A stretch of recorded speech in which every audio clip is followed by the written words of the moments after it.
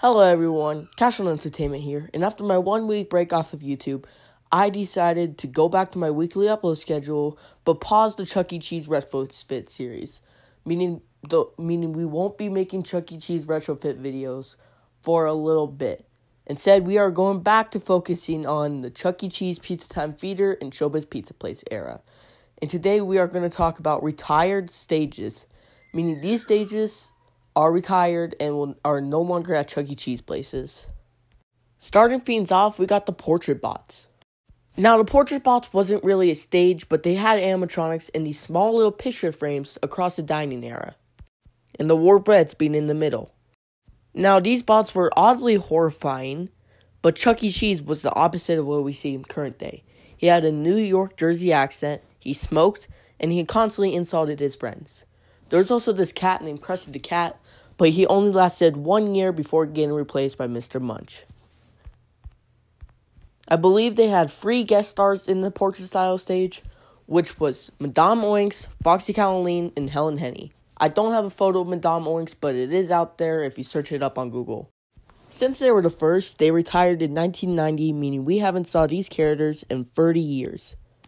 We're now moving on to the balcony stage. Little fun fact the little robots in the balcony stage got introduced in portrait style bots but moved on to the balcony. Now, the balcony stage only lasted until 2002, but were the best working conditions for Pizza Time Theatre.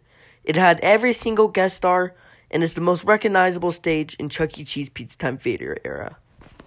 They were replaced with either a road stage or a two stage or a one stage. Like I said, the last one was in 2002.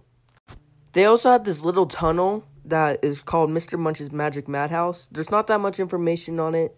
I tried looking on Reddit.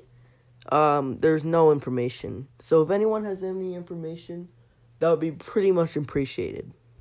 If you tell me in the comments. We're now moving on to the rocker stage.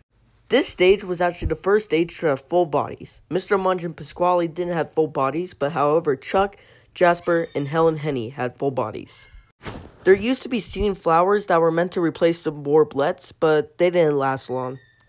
If you can tell by the background, this is a house, so it was like a house stage.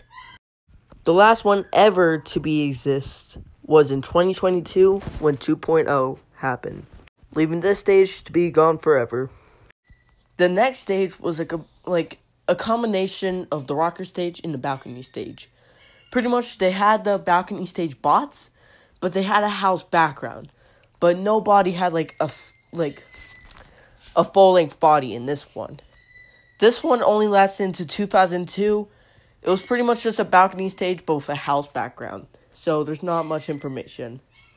However, guest stars went extinct around this time, so only Helen Henny was in this stage.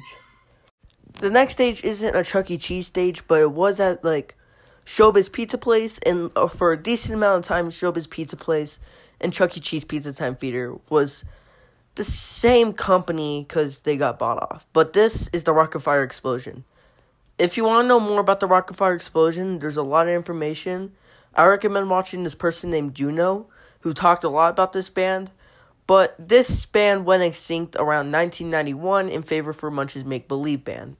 After the Rock-afire's replacement, there was the free stage, but there's only five of these left, so they're about to breathe their extinction after 2.0 hits them. And that was all the Chuck E. Cheese stages that left the place in favor for either a dance floor or a new stage. I hope you like this video, and I just want to announce something.